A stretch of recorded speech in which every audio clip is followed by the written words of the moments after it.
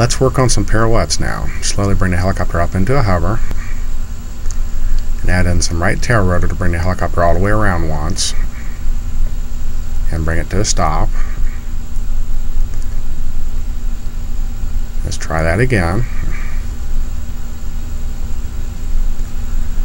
As you get more and more comfortable with them, you'll find yourself slowing it down a little bit and actually putting corrections in to hold it in one spot.